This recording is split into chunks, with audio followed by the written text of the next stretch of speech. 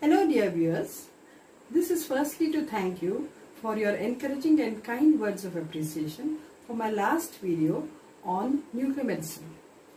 As I had told you that it is the application of nuclear radiations in the field of medicine that is detection, treatment and medical research. The topic will be on principles that is how does nuclear medicine work while the subtopic for this presentation will be tracer principles in nuclear medicine imaging that is diagnosis or detection. One of my great teachers has said that the fruit nuclear medicine imaging has been out of the long-lived marriage of the two subjects radiopharmacy and scintigraphy. Tracer principles was discovered by the great scientist George de Hevesy in 1920s who had worked on plants and animals using radioactive substances of thorium and phosphorus.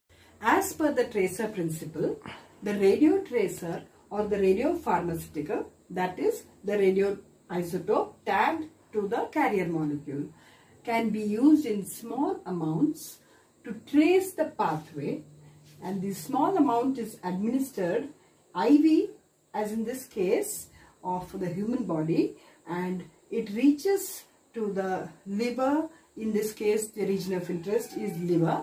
And how does it biodistribute? This can be detected using the radiation detector.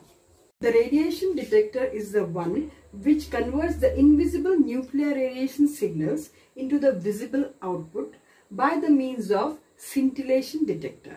That is the scintillator it can be the spectacles for the interpreter to convert these radiation signals into visible output.